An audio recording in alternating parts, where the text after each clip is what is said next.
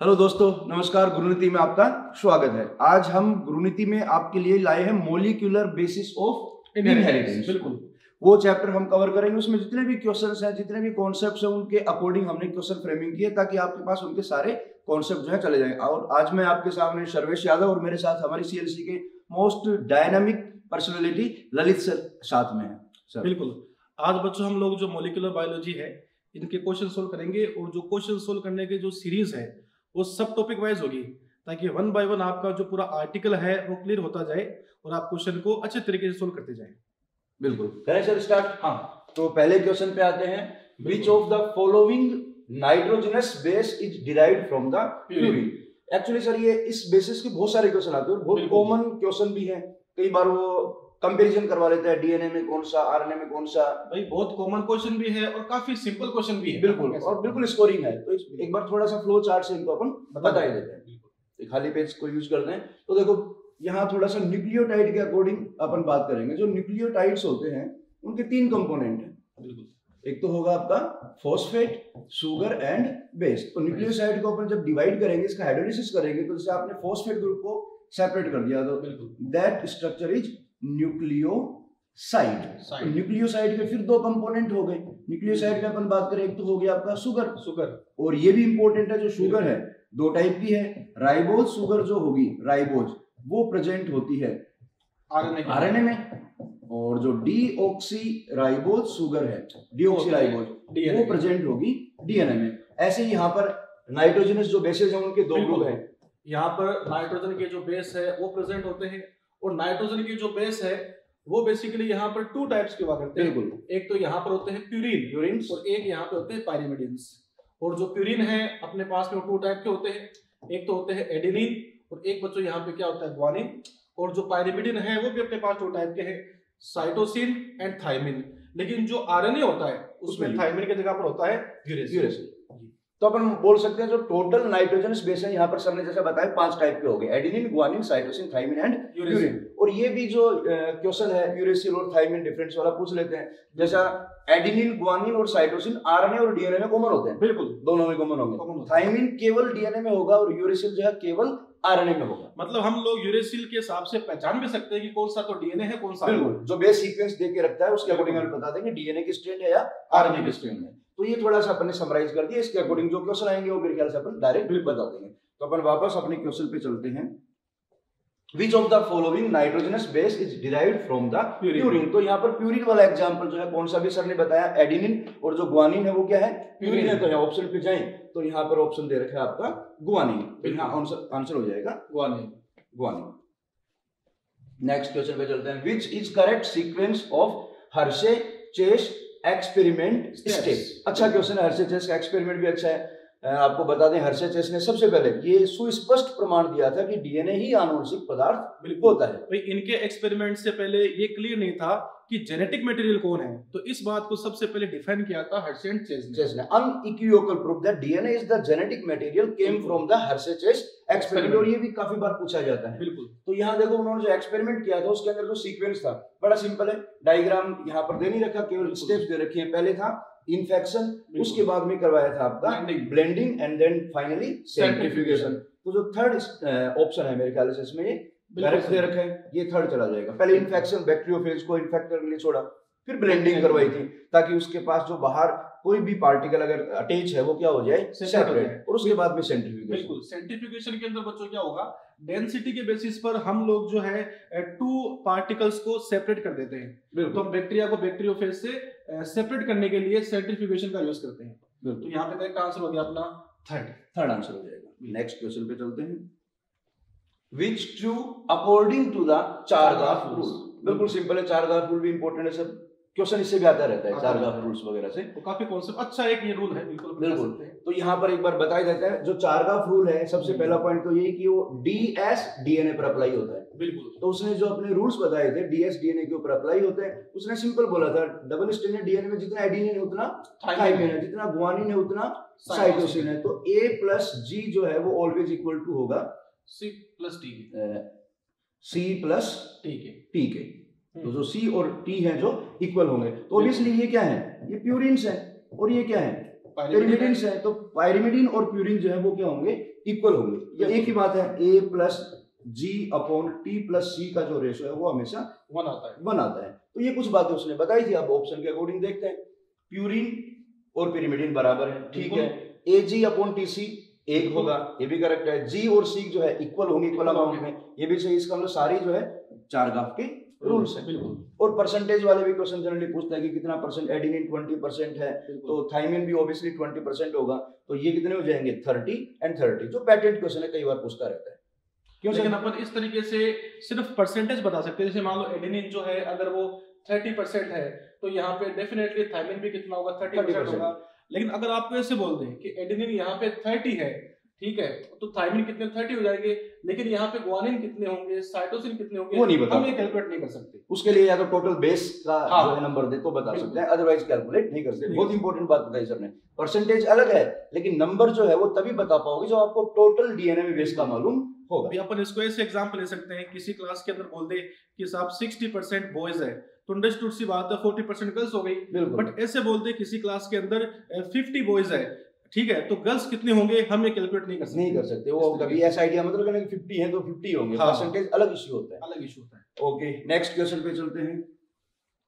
One can not be synthesized from DNA direct directly तो अपन जब बात करते हैं सर सेंट्रल डोगमा की तो वहाँ पर उन्होंने साफ़ बताया था जो डीएनए है उससे आरएनए का फॉर्मेशन होता है। फॉर्मेशन ओके जब डीएनए रेप्लिकेट होता है तो डीएनए का फॉर्मेशन हो जाता है और आरएनए से जो है प्रोटीन का फॉर्मेशन होता है। है। और ये बहुत इंपॉर्टेंट बातें भी हैं जो डीएनए है वो प्रोटीन के लिए आरएनए पे डिपेंड करता है। बिल्कुल। वो डीएनए कभी भी डायरेक्टली प्रोटीन नहीं बना रहा आरएनए जो है डायरेक्टली प्रोटीन के लिए क्या करेगा उसको कोड करेगा सिंथेसाइज करवाएगा। तो यहाँ देखिए आंसर जो है हो जाएगा आपका प्रोटीन। प्रोटीन क्योंकि जो डीएनए है उससे वापस डीएनए बन सकता है। डीएनए से आरएनए बन सकता है। लेकिन डीएनए से प्रोटीन का फॉर्मेशन डायरेक्टली कभी भी कभी भी नहीं होगा। तो अच्छा क्वेश्चन है आंसर हो जाएगा आपका। प्रोटीन। प्रोटीन। और यहाँ देखिए अपन जो क्वेश्चंस डिज़ाइन कर रहे हैं वो उनको फॉलो भी करना ताकि क्वेश्चन को क्रैक कैसे किया जाता है। कई बार क्या होता है सिंपल क्वेश्चन होता है बच्चा थोड़ा इधर उधर का माइंड जो है लगा के उस इजी क्वेश्चन को भी गलत कर देता है जिसको बोलते हैं अपन सिली मिस्टेक्स तो एक बार आपको बहुत ही कंसंट्रेट करना पड़ेगा क्वेश्चन पे। चलो नेक्स्ट क्वेश्चन पे चलते हैं। Which form of RNA has structure resembling with the clover leaf बिल्कुल। अच्छा स्ट्रक्चरल वाइज क्वेश्चन पूछा है। तो क्लोवर लीफ की बात करें तो सर वहाँ एनसीईआरटी में दिया भी है। जो टीआरएनए है उसकी जो स्ट्रक्चर है बिल्कुल क्लोवर लीफ की तरह होती है जिसमें डिफरेंट जो है लूप्स होती हैं और कुछ स्टेम्स होते हैं। तो ये जो स्ट्रक्चर है जैसे अपन टीआरएनए की बात कर रहे हैं इसका फाइव प्राइम है इसका थ्री प्राइम है। फाइव प्राइम पे गुआनिन होता है और यहाँ पर सी सी ए सीक्वेंस प्रेजेंट होता है। सीक्वेंस फिक्स होती है इसके अंदर। ये यहाँ पे अपने पास में हो गई इसकी लीफ जैसी स्ट्रक्चर इसे हम लोग बोलते हैं लूप्स Loops. ये जो आप यहाँ पर देख रहे हो यहाँ पे स्टेम बिल्कुल। और थोड़ा सा बता दें आगे क्वेश्चन भी आएँगे तो आप कर पाओगे। ये डीएच लूप होती है। ये एंटी कोडोन लूप होती है। एंटी कोडोन लूप जिसमें एंटी कोडोन प्रेजेंट होते हैं। और ये जो है टी साइसी लूप होती है। दैट इज़ एसेप्टर आर्म ये जो एसेप्टर आर्म है इसी के थ्री प्राइम एंड पर अमीनो एसिड आके बोलते होता है। Amino acid binding site amino acid binding कहा होगा? याद रखना थ्री प्राइम एंड पे सी सी ए तो यहाँ पर एसआई लिंकेज बनेगा और एमिनो एसिड यहाँ पर बाइंड हो जाएगा। तो सिंपल आंसर हो जाएगा T R N transformation experiment was first performed on which bacteria बिल्कुल अच्छा क्वेश्चन है ट्रांसफॉर्मेशन से भी काफ़ी क्वेश्चंस आते रहते हैं। बिल्कुल, ग्रिफिथ का काफ़ी ये फ़ेमस एक्सपेरिमेंट है। फ़ेमस एक्सपेरिमेंट है। उसने स्टेप्टोकोकस निमोनी का यूज़ किया था। बिल्कुल। बेसिकली स्टेप्टोकोकस निमोनी जो है इसके टू टाइप्स के स्ट्रेन होते हैं। बिल्कुल। एक तो यहाँ पे होता है आर सेकंड और एक यहाँ पे होता है एस थर्ड आर का मतलब यहाँ पे रफ है एस का मतलब स्मूथ होता है। ये स्मूथ इसलिए है बिकॉज़ इसके ऊपर कार्बोहाइड्रेट का एक यहाँ पर लेयर एक एनवलप होता है जिससे निमोनिया कोज होता है। ये तो यहाँ पे वायरोलेंट है नहीं ये यहाँ पे वायरोलेंट बिल्कुल। है इससे डिज़ीज़ हो सकती है। बिल्कुल और ये याद भी रखना इसको न्यूमोकोकस भी बोल देते हैं जनरली। जहाँ पर एनसीईआरटी में लिखा है। तो स्ट्रेन पे ज़रूर फोकस करना कि आर स्ट्रेन की बात करें एस स्ट्रेन की। जैसा सर ने बताया जो एस स्ट्रेन है वो पैथोजेनिक है और जो आर स्ट्रेन है वो नॉन पैथोजेनिक है। ओके और एक्सपेरिमेंट से जो क्वेश्चन आते हैं वो अलग है जो आएँगे आगे उनको भी सोल्व कर लेंगे। कई बार बच्चे से सोच लेते हैं कि सर ये तो इन्फेक्शन नहीं करता इन्फेक्शन करता है। नहीं इन्फेक्शन दोनों करेंगे। लेकिन जो निमोनिया कोज होगा डिज़ीज़ जो कोज करेगा वो एस स्टेडी करेगी। बिल्कुल।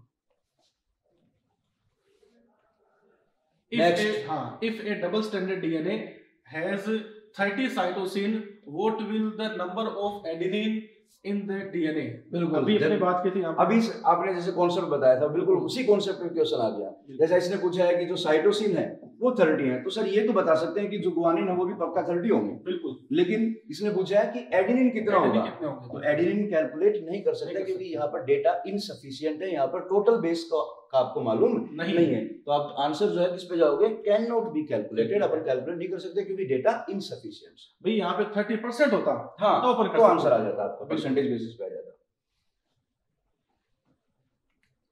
In Griffith experiment, mice will not dead when inject with. Griffith परीक्षण में चूहे की मृत्यु नहीं होगी। यदि इसे इंजेक्शन दिया जाए अपन देखते हैं इसको। लाइव एस स्ट्रेन तो एस स्ट्रेन जो है उससे तो निमोनिया होता है। तो बिल्कुल जो माउस उसकी डेथ हो ही जाएगी। बिल्कुल। Heat killed S strain combined with R strain अगर यहाँ पे हीट किल्ड एस स्ट्रेन है और वो कंबाइंड आर स्ट्रेन के साथ में है तो अकॉर्डिंग टू ट्रांसफॉर्मेशन उसकी डेथ हो ही जाएगी। होगी। Heat killed R strain combined with S strain तो यहाँ पे एस स्ट्रेन तो है वो लिविंग है। अगर यहाँ पे एस स्ट्रेन है तो निमोनिया यहाँ पे हो जाएगा उसकी डेथ हो जाएगी। Heat killed R strain combined with R strain अब यहाँ पे चाहे तो आर स्ट्रेन हीट किल्ड हो बिल्कुल। या हीट किल्ड नहीं हो निमोनिया होगा ही। नहीं तो इसका आंसर हो? जाएगा और इसमें दोनों कॉन्सेप्ट आ गए। जैसे आपने पहले भी बताया था कि आर स्टेन जो है नॉन पैथोजेनिक है और हीट की आर स्टेन या आर स्टेन बोल दो वो एस स्टेन में कन्वर्ट भी नहीं हो पाएगी अपने आप। जब तक उसके साथ हीट की एस स्टेन नहीं है तब तक वो ट्रांसफॉर्मेशन नहीं कर पाएगी। सिंपल है इसका आंसर हो जाएगा। फोर्थ फोर्थ बिल्कुल। Next select the incorrect statement गलत कथन का चुनाव कीजिए। If the sequence of base in one strand is known then the sequence in other strand can be predicted तो बिल्कुल सही बात है। अपन एक स्ट्रैंड को देखकर जो दूसरा स्ट्रैंड है उसमें हम। देख सकते हैं कौन से कौन से बेस है। Both the strand of DNA are complementary of each other तो बिल्कुल सही है। जैसे। मान लो किसी स्ट्रेन में अगर यहाँ पे एडिनिन है तो सामने वाले में डेफिनेटली क्या आएगा? थाइमिन। कॉम्प्लीमेंट्री होती है दूसरे। In transforming principle when streptococcus pneumoniae bacteria are grown on culture plate some produce smooth shiny colonies S while other produce rough colony R बिल्कुल अभी बात यहाँ पे इसके दोनों स्ट्रेन की बात हो गई। R strain bacteria have mucus ये बत- यहाँ पे आ गया? रोग आ गया। ये रोंग आ गया। अभी सर ने बताया भी था आपको कि जो म्यूकस लेयर होती है पॉलीसेकेंड लेयर होती है वो एस स्ट्रेन जो है उसमें पाई जाती है और उसी की वजह से ये एस काफ़ी स्मूथ होता है। बिल्कुल। तो तो यहाँ पर आंसर आ जाएगा। फोर्थ उसने पूछा भी है गलत कथन तो ये फोर्थ जो है गलत है। बाकी के जो तीनों सर ने समझा भी दिया बिल्कुल क्या है? करेक्ट है। सही।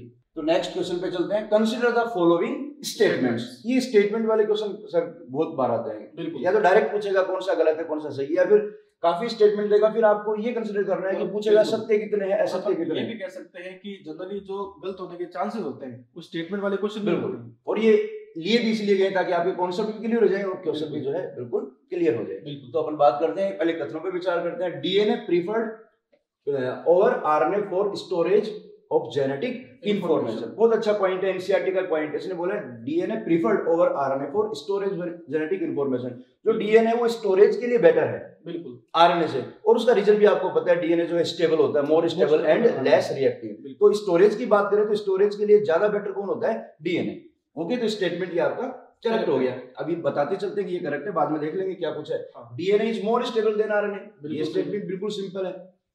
RNA is more reactive and unstable than the. DNA RNA जो है मोर रिएक्टिव और अनस्टेबल और इसका रीजन भी आपको पता होना चाहिए due to the presence of second prime OH group क्योंकि आरएनए के अंदर जो न्यूक्लियोटाइड है उसमें जो राइबोस होगा उसके सेकंड प्राइम पर ओएच ग्रुप फ्री है। फ्री है। तो आरएनए मॉलिक्यूल में बहुत सारे क्या है ओएच ग्रुप और उसकी वजह से जो है आरएनए ज़्यादा रिएक्टिव होगा और स्ट्रक्चरली भी क्या होगा अनस्टेबल जबकि जो डीएनए है उसके पेंटो शुगर में सेकंड कार्बन पर ओएच नहीं होता होता है। तो वो कंपेरेटिवली स्टेबल स्टेबल हो जाएगा। बिल्कुल। तो इस पे चलते हैं। DNA has evolve from RNA with chemical modification ये भी सही दिया है। आरएनए से ही डीएनए का फॉर्मेशन हुआ है और आरएनए से डीएनए बना डीएनए क्या हो गया? बिकम स्टेबल हो तो गया। ऐसे भी कह सकते हैं कि साहब फ़र्स्ट जेनेटिक मटेरियल इस आरएनए। बिल्कुल। सबसे पहले आरएनए जेनेटिक मटेरियल था उसके बाद में डीएनए बना। बिल्कुल। आरएनए से ही डीएनए का फॉर्मेशन हुआ है। तो यहाँ तो सारे स्टेटमेंट क्या हो गए सर? सारे सही है? और बिल्कुल यहाँ पर सत्य कथन की बात करें तो फोर्थ आंसर बिल्कुल।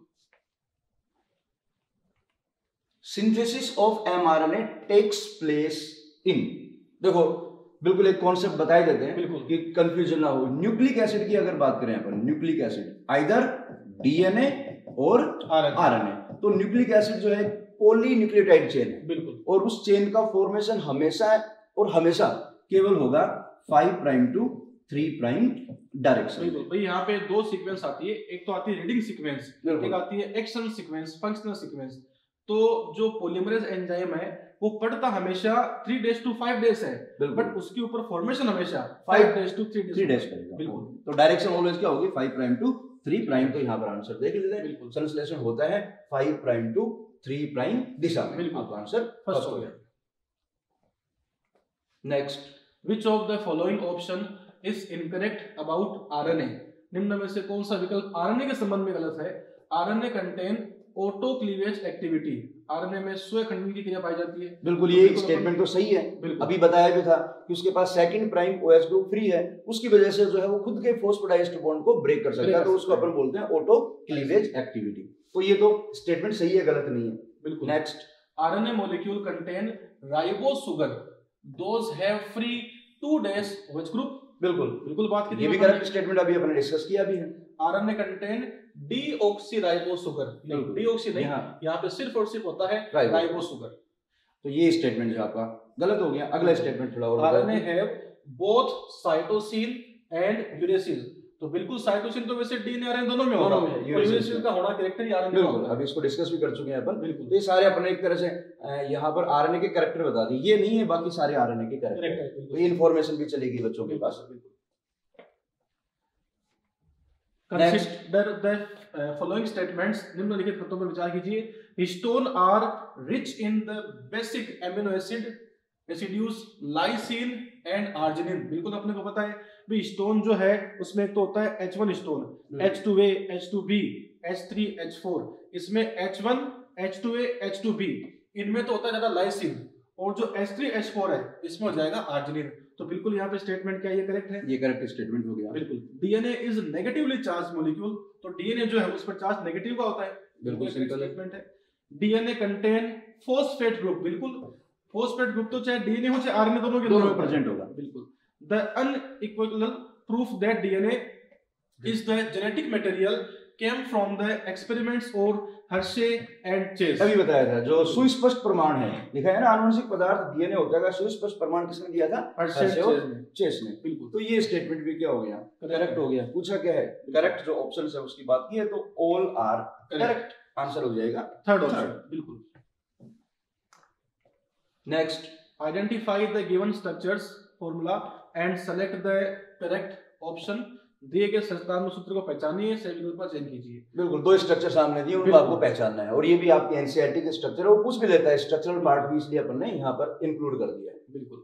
तो देखो यहाँ पर अपने पास में दो स्ट्रक्चर है। ये इसके अंदर देखो बच्चों एक ही इसमें रिंग है और यहाँ पर दो रिंग है।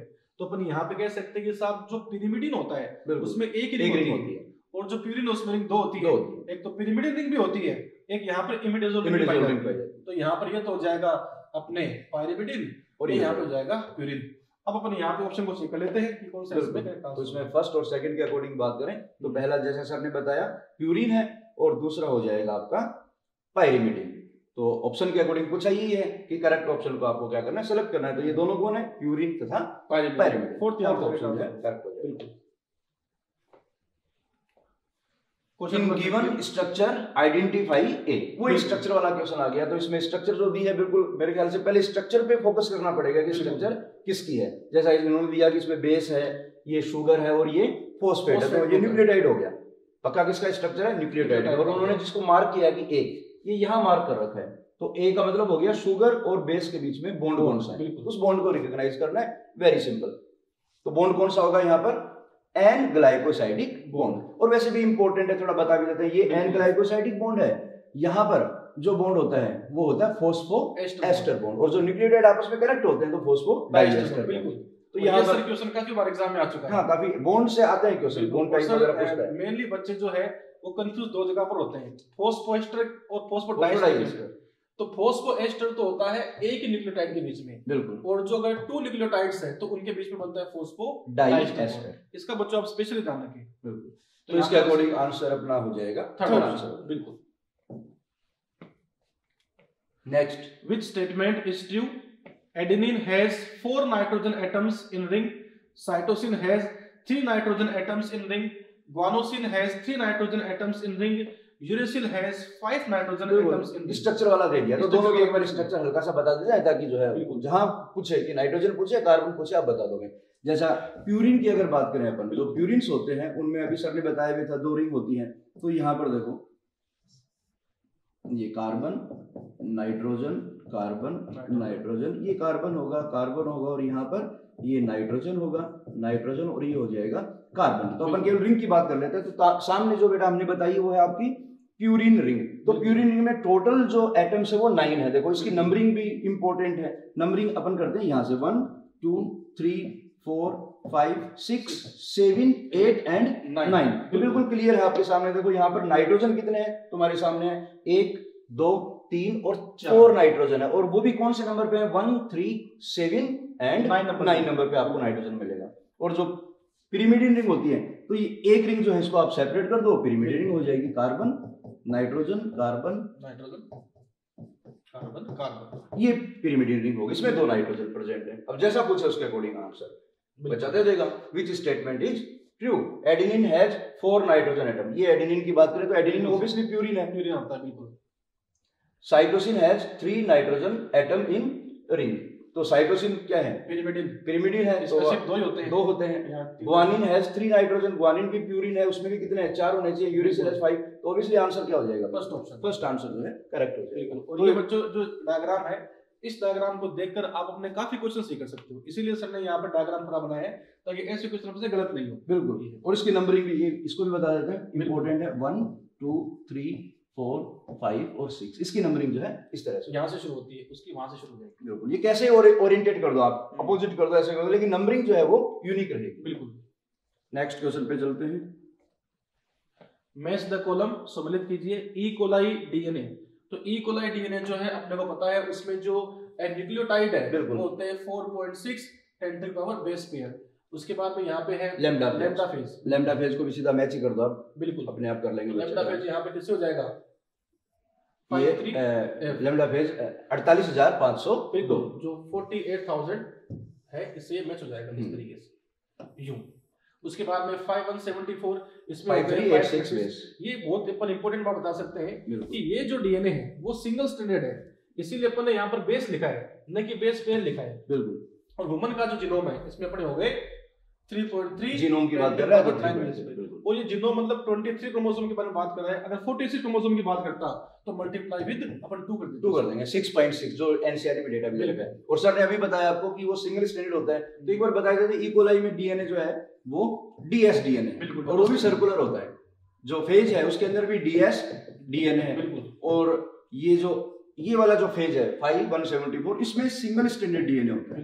एस एस डीएनए और अपने अंदर होता है ये डबल स्टैंडर्ड डीएनए तो यहाँ पर भी कई बार वो क्वेश्चन पूछ लेता है किसमें सिंगल स्टैंडर्ड है किसमें डबल स्टैंडर्ड है?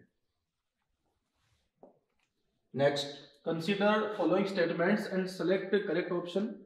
Two nucleotides are linked by 3,5 phosphor diester linkage to form a dinucleotide बिल्कुल सही बात है।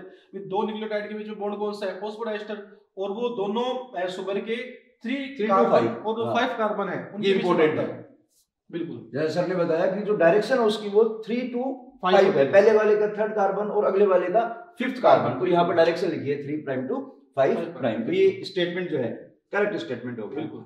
Next purine nucleoside have one nine glycosidic linkage whereas pyrimidine nucleoside बिल्कुल यहाँ भी उन्होंने डायरेक्शन की बात कर ली थोड़ा सा स्ट्रक्चरल पार्ट है लेकिन दे रखा है एनसीईआरटी में तो मेरे ख्याल से याद रखना भी चाहिए। बिल्कुल। जो प्यूरिन्स है जैसा स्टेटमेंट लिखा है जो प्यूरिन है वो जब भी शुगर के साथ एन ग्लाइकोसाइडिक बॉन्ड बनाएगा बिल्कुल। तो वहाँ पर डायरेक्शन होगी जो आपका शुगर है उसका तो फ़र्स्ट प्राइम कार्बन हो गया और जो आपका नाइट्रोजन प्यूरिन है उसका नाइन्थ जो है नाइट्रोजन हो गया। ये डायरेक्शन होती है और पिरिमिडिन होगा तो ये फ़र्स्ट तो रहेगा ही शुगर का तो हमेशा फ़र्स्ट ही रहता है। और ये जो पिरिमिडिन पिरीमिडिन है उसका ये नाइट्रोजन फ़र्स्ट होगा। तो वहाँ पर डायरेक्शन क्या है? वन वन है और वहाँ पर डायरेक्शन होगी वन नाइन बिल्कुल।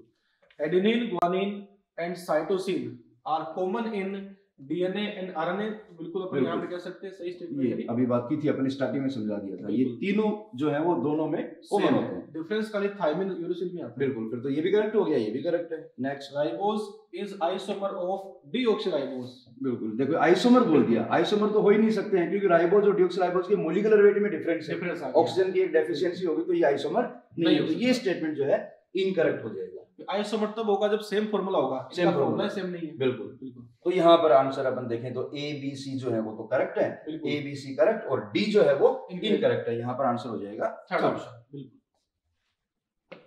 next which of the following dsDNA sample will have highest melting temperature? That with तो ये जो बेसिकली क्वेश्चन है एक बहुत सिंपल सा क्वेश्चन है।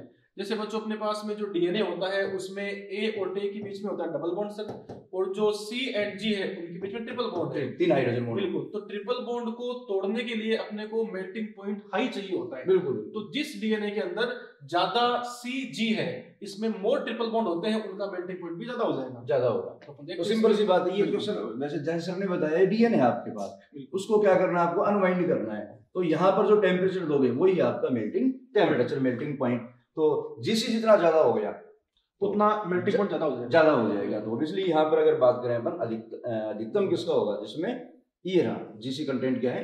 हाई है यहाँ पर आंसर हो जाएगा।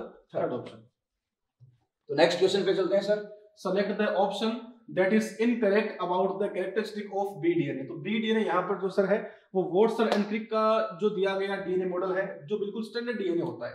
ठीक है जो अपने पास में इस तरीके से बी डीएनए है उसमें डायमीटर 20 एंगस्ट्रॉम है तो बिल्कुल ठीक है। जो यहाँ पर दोनों पॉलीन्यूक्लियोटाइड की चेन है उनके बीच का जो डायमीटर है वो 20 एंगस्ट्रॉम होता है। करेक्ट है। बेस पेयर पर टन तो जो यहाँ पर पर टन बेस पेयर कितने होते हैं? 10 होते हैं। Pair। बिल्कुल करेक्ट है।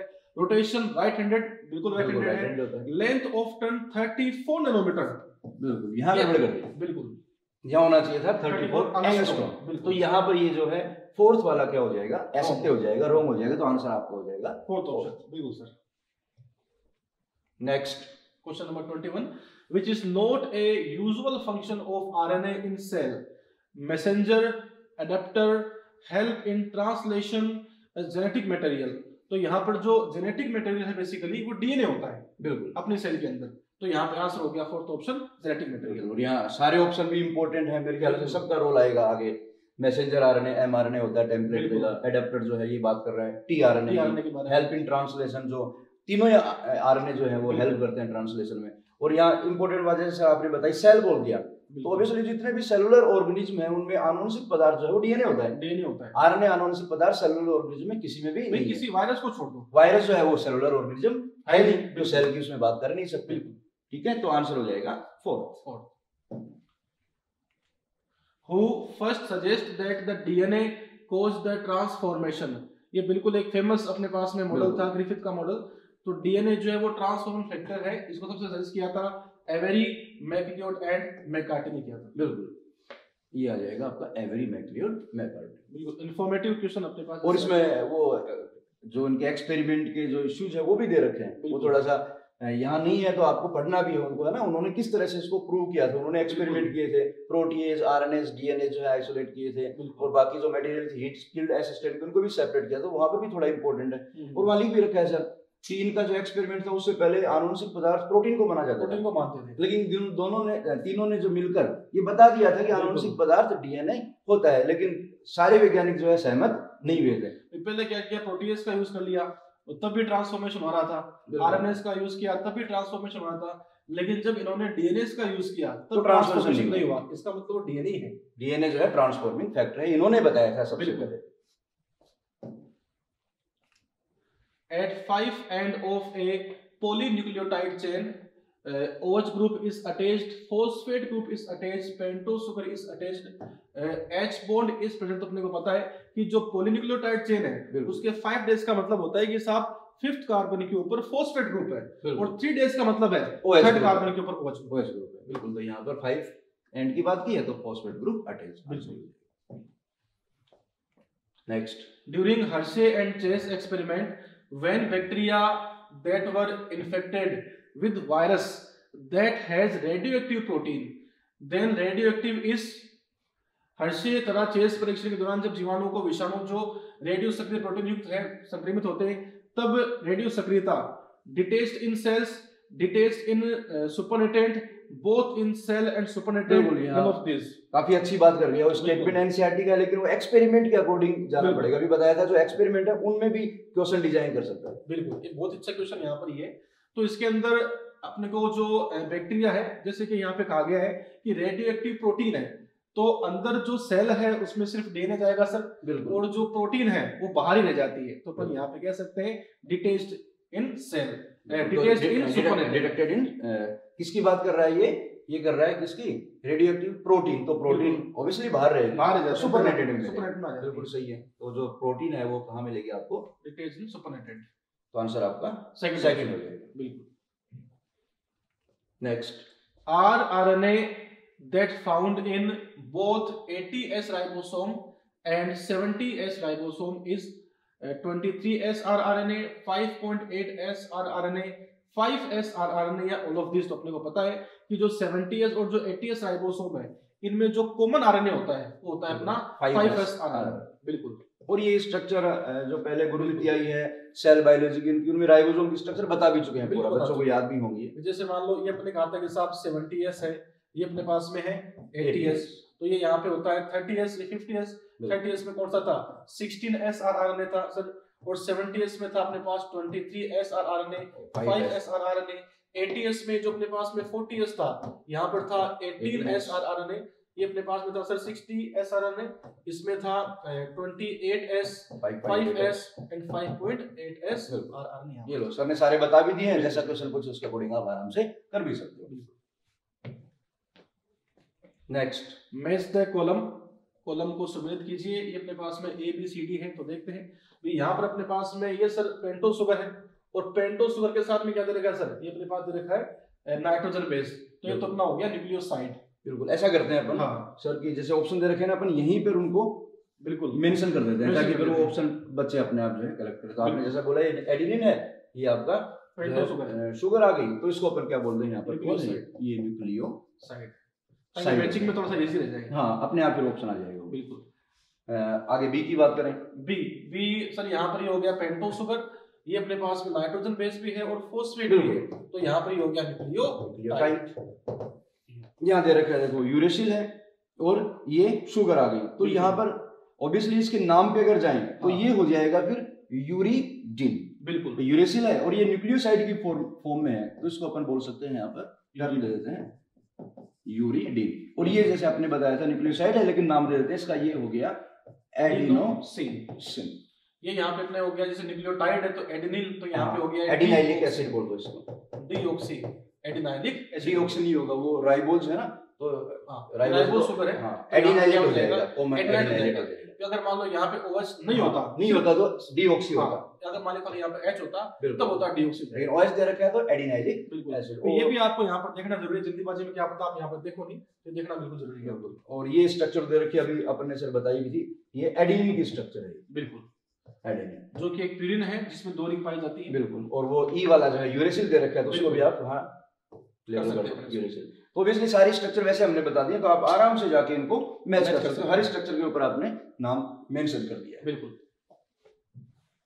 नेक्स्ट 27 नंबर क्वेश्चन है मैच द फॉलोइंग इधर है केमिकल कंपाउंड इधर है इसके एग्जांपल नाइट्रोजन बेस तो नाइट्रोजन बेस यहाँ पे कौन सा हो गया?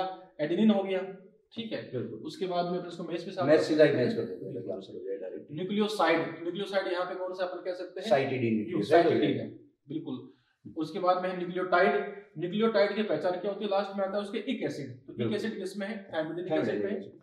न्यूक्लिक एसिड अपने पास में कौन सा है? में एसिड होता है ये मैचिंग अपने आप अपने आप जो है आंसर आ जाएगा। बिल्कुल। नेक्स्ट क्वेश्चन 28 नंबर क्वेश्चन है match the following column column first इधर है कॉलम सेकंड है।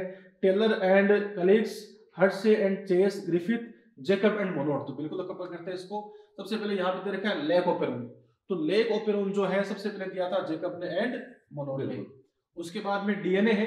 तो जो डीएनए है इसके बारे में एक्सपेरिमेंट किसने किया था? हर्षे और चेस ने तो ये कहा था कि डीएनए क्या है? इज़ द जेनेटिक मटेरियल उसके बाद में ग्रिफिथ यहाँ पे तो ट्रांसफॉर्मिंग क्या प्रिंसिपल किया था? ट्रांसफॉर्मेशन किया था। तो ग्रिफिथ अपने पास में आ गया। उसके बाद बच गया टेलर एंड कलीग्स तो उन्होंने क्या किया था? ट्रांसक्रिप्शन है और डीएनए है। तो डीएनए से कोरिलेट कर देते हैं। बिल्कुल। रेडियो एक्टिविटी वगैरह यूज़ की थी। सेमी कंजर्वेटिव मोड जो है डीएनए बिल्कुल। एप्लीकेशन का वो उन्होंने डिफाइन किया या फाबा में अपना उसमें एक्सपेरिमेंट किया था। तो इसके अकॉर्डिंग देखो वहाँ पर पाँच दे रखे हैं तो ऑब्वियसली जैसे आपने किया कि आपको उसके अकॉर्डिंग देखना पड़ेगा। कई बार होता है कंफ्यूजन हो जाता है। जैसे अपन बात करें डीएनए तो डीएनए तो इनमें इससे भी रिलेटेड हो सकता है इससे भी रिलेटेड हो सकता है लेकिन पहले आप जो एक्सपेरिमेंट जो दे रखे हैं मेन प्रीफर जो करोगे वो पहले मैचिंग करोगे। विच जिसमें एक्यूरेसी है अपन हाँ एक्यूरेसी है। तो ये सिंपल है आंसर हो जाएगा इसका। Next question number 29. Choose the correct statements. Haploid content of DNA is 4.6 10 to the power 6. ये बेसिकली यहाँ पर E. coli का है। ह्यूमन का है ही नहीं? A nitrogenous base is linked to pento sugar through phosphodiester bond ये यहाँ पे गलत अभी सर ने बात की थी। जो ग्लाइकोसाइडिक बॉन्ड है वो यहाँ पर बनता है तो गलत स्टेटमेंट हो जाएगी X ray deflection data of Maurice Wilkins and Rosalind Franklin was the basis of Watson and Crick's DNA model बिल्कुल अपन यहाँ से कह सकते हैं। DNA is an acidic substance was first identified by Watson and Crick. यहाँ गलत हो गया।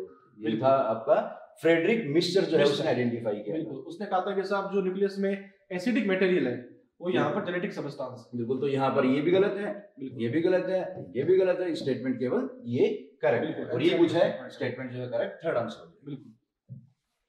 नेक्स्ट क्वेश्चन पे चलते हैं। The result of the following reaction experiment carried out by Avery et al. On Streptococcus pneumoniae has proved conclusively that DNA is the genetic material.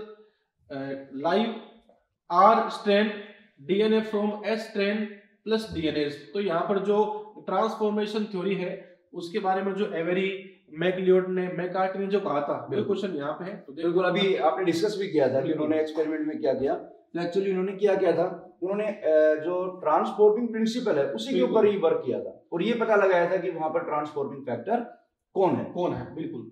तो यहाँ कुछ वो बेसिक जो है उन्होंने स्टेप्स दे रखे कि किया क्या था। तो बड़ा सिंपल है जैसे आपने थोड़ी देर पहले बोला भी था डीएनएस को अगर आपने यूज़ में लिया तो डीएनएस क्या करेगा? ट्रांसफॉर्मेशन को रोक देगा। रोक देगा। ट्रांसफॉर्मेशन नहीं होने देगा। तो उन्होंने जो है आर स्ट्रेन ली।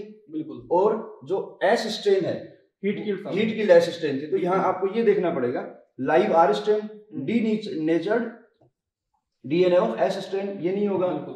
इस पे जाएँगे अपन डीएनएच वाले पे heat killed S strain DNA from S strain दे रखा है ये है live S strain DNA from S strain ये भी नहीं होगा तो आपका देखो सर ये दे रखा है यहाँ पर live S strain DNA from S strain plus DNA DNase का यहाँ पर बड़ा रोल है बड़ा रोल है और लाइव एस स्ट्रेन लेनी है तो डीएनए अगर आप यूज़ करोगे तो जो डीएनए जो डीएनए को क्या कर देगा डाइजेस्ट कर देगा तो आर जो है वो एस में कन्वर्ट नहीं होगी ट्रांसफॉर्मेशन ट्रांसफॉर्मेशन को रोक देगा तो इसके आधार पर उन्होंने बताया था कि ये भाई यहाँ पर जैसे लिखा है डीएनए फ्रॉम एस टेन तो इससे कहने का मतलब ये है कि जो हीट किल एस बैक्टीरिया है उसका डीएनए जो है वो जा रहा है आप कह सकते हो ट्रांसफॉर्मेशन करने के लिए। बिल्कुल। उन्होंने सेपरेट भी किया था जो डीएनए है आरएनए और प्रोटीन तीनों को सेपरेट कर लिया। और फिर ये डीएनए एंजाइम आरएनए एंजाइम ये उनमें यूज़ किए थे। बिल्कुल। तो बड़ा सिंपल है आंसर हो जाएगा आपका। पहला। Next question the diagram show an important concept in the gene. Implication of DNA fill in the blanks A to C, DNA to mRNA तो अपने को पता है ये क्या हो डीएनए गया? आरएनए जो है आपका हो जाएगा ट्रांसक्रिप्शन मेंशन कर देते हैं।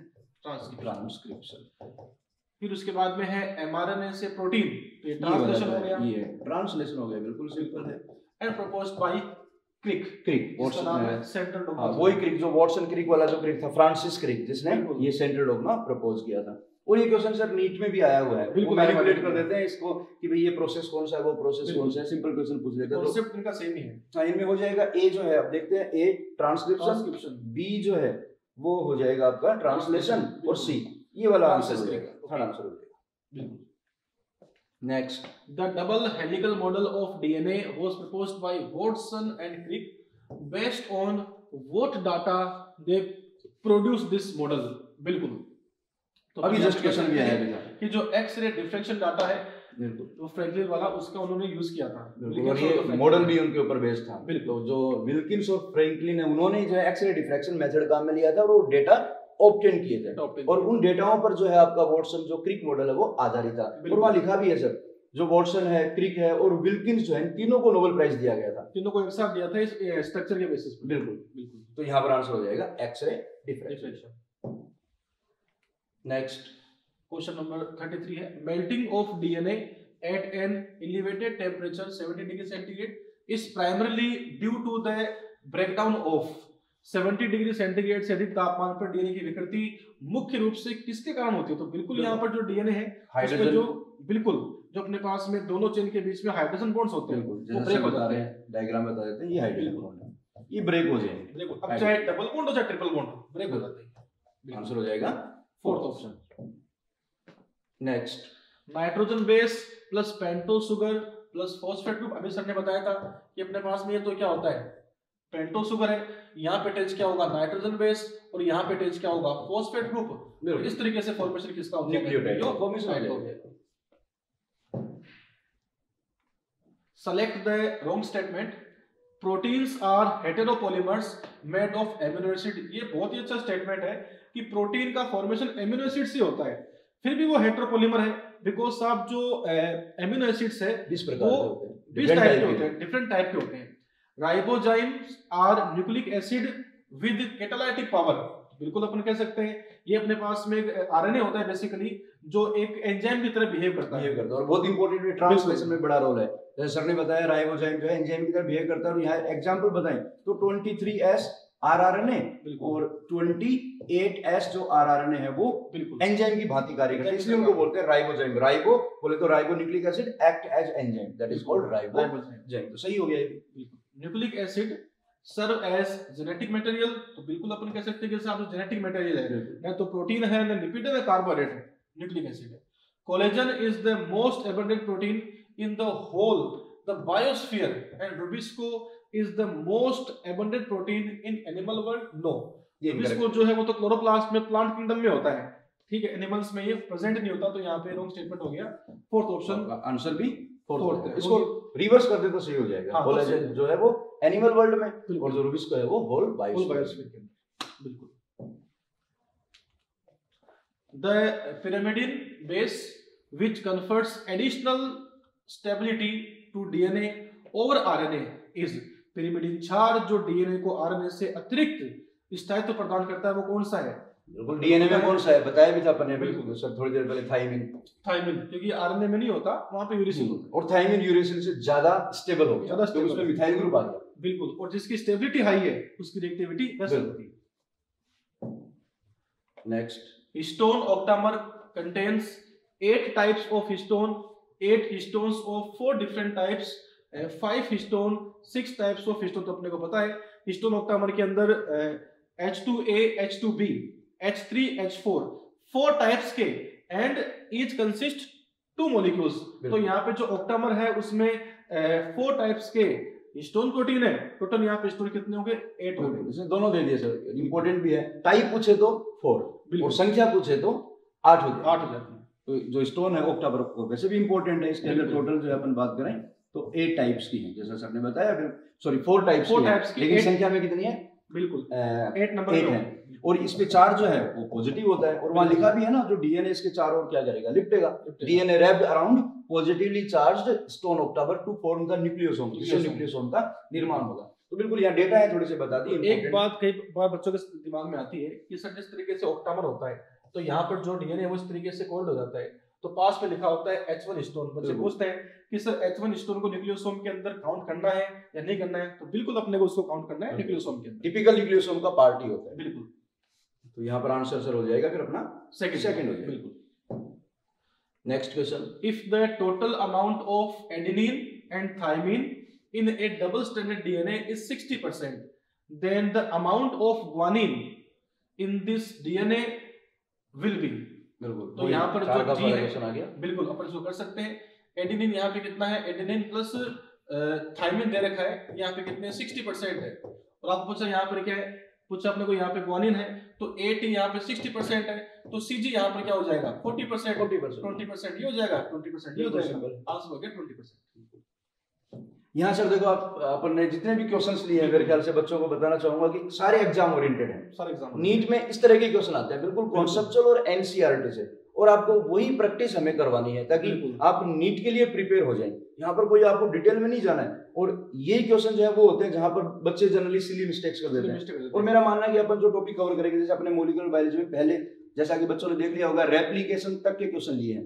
जनरली स्ट्रक्चर के आगे DNA structure Watson Crick model Chargaff rule Hershey Chase experiment वो सारे क्वेश्चन अपन इसके अंदर ले लिए। और मेरा मानना है कि इनसे बाहर क्या आएगा? नहीं आएगा। अभी क्योंकि ये मोलिकुलर बायोलॉजी है बायोटेक्नोलॉजी है ये सब क्या एप्लीकेशंस होते हैं? बिल्कुल। और यहाँ पे सारे कॉन्सेप्ट ही आते हैं। यहाँ पे इन्फॉर्मेशन पूछता नहीं है जनरली कॉन्सेप्ट यहाँ पूछते हैं अपने को। बिल्कुल। अपन ये चाह रहे हैं कि बस इससे बाहर कुछ ना जाए। कुछ नहीं। तो हम भी दिमाग लगा के क्वेश्चन डिज़ाइन कर रहे हैं जो क्वेश्चन आपके सामने लेके आ रहे हैं ताकि गुरु नीति से बाहर कोई क्वेश्चन आ जाए बच्चा आराम से जो है क्रैक कर पाए। बिल्कुल। नेक्स्ट क्वेश्चन पे चलते हैं sir following structure denotes two base pair of DNA in this structure name of types of labeled is तो बिल्कुल अपन यहाँ पर देखते हैं। ये अपने पास में डायग्राम ए ये अपने पास में बी है। तो ये बच्चों यहाँ पे थाइमिन है एडिनिन है टी एंड ए है। तो एटी के बीच में क्या होते हैं? टू हाइड्रोजन बॉन्ड्स होते हैं। उसके बाद में बी अपन यहाँ पर देख लेते हैं। ये अपने पास में डी दे रखा है। तो डी यहाँ पर कौन सा बॉन्ड हो गया? एन ग्लाइकोसाइडिक ग्लाइकोसाइडिक बॉन्ड ठीक है उसके बाद में बी वाला उधर दिया है बी जो है। बी रहा हाँ। ये अपने पास में हो गया दो न्यूक्लियोटाइड्स के बीच में तो फोस्फो डाइस्टर बॉन्ड हो गया। बिल्कुल। लेकिन बाद उन्होंने थोड़ी लेबलिंग में थोड़ा वो कर रखा है सब वो जो बी है वो देखना पड़ेगा जो बी है केवल उन्होंने एक को डिनोट किया है। बिल्कुल।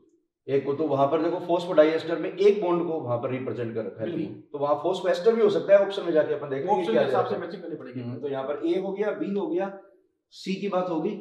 सी का सी ये रहा। ये यहाँ पर सी रहा तो बिल्कुल अपन यहाँ ये पे सी जो है। ये हो गया फोस्फो डाइएस्टर। तो ऑप्शन के अकॉर्डिंग देखना पड़ेगा। सर मैं बोल रहा हूँ ए तो ए में आपने बताया है। ये अपने पास में hydrogen bond hydrogen bond a hydrogen bond ये रहा। तो ये सिर्फ़ एक में दे रखा है वैसे ये, बिल्कुल सिंपल हो गया। एक में दे रखा है तो ऑब्वियसली आंसर तो यही होगा। बिल्कुल। और ये इसलिए दे रखा है ताकि यहाँ पे वो कंफ्यूजन नहीं रहे। बिल्कुल। और ऐसे आते हैं नीट में भी अब की बार जो मैचिंग वाले क्वेश्चन आए थे उनमें भी ये दे रखा था कि एक बार में तो, ये मैचिंग हाँ, है। पहली बार ऐसा हुआ था कि अगर आपको किसी बच्चे को एक मैचिंग मिलेगी ना तो उसको तो बाकी मैचिंग कलेक्ट देखने की ज़रूरत नहीं है टाइम वेस्ट करने की आवश्यकता ही नहीं तो यहाँ पर वैसे भी अपन ने बॉन्ड सारे बता दिए हैं क्योंकि बॉन्ड से क्वेश्चन आते हैं तो यहाँ सारे बॉन्ड आ गए। बिल्कुल। थर्ड इसका करेक्ट आंसर है। Next a DNA molecule distance between two base pair यहाँ पर टू बेस पेयर के बीच की डिस्टेंस को कैलकुलेट करना चाह रहे हैं। जैसे मान लो यहाँ पर 80 है 80 के बाद में क्या आता है? CG तो इनके बीच की डिस्टेंस यहाँ पे कितनी होती है? 3.4 एंगस्ट्रॉन जो है बिल्कुल। डिस्टेंस होती है। आप देख लो किसके अकॉर्डिंग दे रखी है? तो यहाँ 3.4 एंगस्ट्रॉन और 0.34 नैनोमीटर एक ही बात है। डाटा दोनों से डाटा दोनों दे रखे फोर्थ आंसर हो जाएगा। Next purines possesses nitrogen at तो भी हमने अभी डायग्राम आया था। वहाँ पर डायग्राम में आप वापस जो है देख लेना। 1379 पोजीशन पे जो है। नाइट्रोजन प्रेजेंट थी। तो यहाँ पर आंसर थर्ड ऑप्शन हो जाएगा। नेक्स्ट यहाँ पे identify the wrong statement about DNA the length of DNA is defined as the number of the base pair present in it बिल्कुल कह सकते हैं डीएनए की लेंथ या तो कैलकुलेट कर लो न्यूक्लियोटाइड से या फिर बेस पेयर से कर सकते हैं।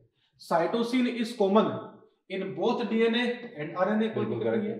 in a nucleotide the nitrogen base is linked to a phosphate group तो यहाँ पे लिखा है कि साहब जो न्यूक्लियोटाइड है उसमें nitrogen base is linked to a phosphate group ये यहाँ पे स्टेटमेंट क्या हो गया आपका? गलत हो जाएगा। नाइट्रोजन बेस जो है वो शुगर से कनेक्ट है ना कि फॉस्फेट से। हाँ सिंपल डायग्राम बनाते हैं अपन यहाँ पर ये यहाँ पे नाइट्रोजन बेस है ये फोस्फेट आ है गया। तो दोनों अटैच शुगर से है ना हम्म। कि दोनों आपस में attach attach thymine is chemically 5 methyl uracil बिल्कुल करेक्ट है ये भी। बिल्कुल यहाँ पे करेक्ट हो गया। ये करेक्ट हो गया आंसर जो है। कुछ रोंग कुछ तो है पूछा है।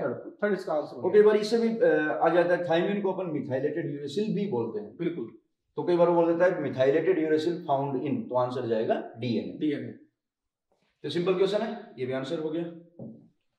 Next next 43 number question which property among these listed below is not a criteria for a molecule to act as a genetic material Gene- uh, generate its replication okay chemically and structurally stable होना चाहिए mutate slowly to facilitate evolution destroy itself in every cell cycle ये यहाँ पे wrong statement हो गया तो answer भी अपना फोर्थ हो Fourth हो गया। और ये भी इसलिए डिज़ाइन किया है सर वहाँ पर दे रखा है। Properties of genetic material DNA versus RNA तो वहाँ भी थ्योरेटिकल थोड़ा सा पोर्शन दिया है थ्योरी दे रखी है पूरा एक पैराग्राफ दे रखा है लेकिन उसमें। क्वेश्चन काफ़ी अच्छे बन रहे हैं तो उसके अकॉर्डिंग अपन ने और ये प्रॉपर्टीज़ आपको याद रखनी पड़ेंगी कि भाई किसको जेनेटिक मटेरियल का फ़ंक्शन करना है उसमें क्या क्या प्रॉपर्टीज़ होने चाहिए। चाहिए। तो वो प्रॉपर्टीज़ अपने इंक्लूड भी कर ली है। लेकिन ये प्रॉपर्टी जो है नहीं होगी। डेस्ट्रॉय नहीं होगा। सेल में डेस्ट्रॉय हो गया तो सेल की क्या हो जाएगी? हो जाएगी। हो जाएगी।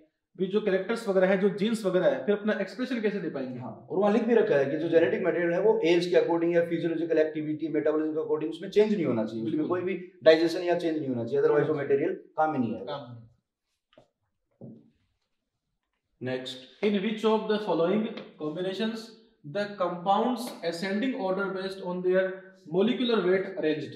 बिल्कुल मोलिकुलर वेट के अकॉर्डिंग है बात करनी है कि देखना आपको कि लार्ज कौन है स्मॉल कौन है सबसे स्मॉल कौन है। तो यहाँ ऑप्शन के अकॉर्डिंग देखें तो सर जैसे आपको कई जगह डीएनए वगैरह दिखाई दे रहा है डीएनए आरएनए तो डीएनए जो है आरएनए जो है उनका वेट जो है ऑब्वियसली क्या होगा? ज़्यादा होगा। तो पूछा क्या है इन्होंने? असेंडिंग ऑर्डर पूछा है। बिल्कुल। असेंडिंग का मतलब आपका हो गया बढ़ता हुआ क्रम हो गया। तो बढ़ते हुए क्रम में देखो सबसे एंड में क्या होना चाहिए सर?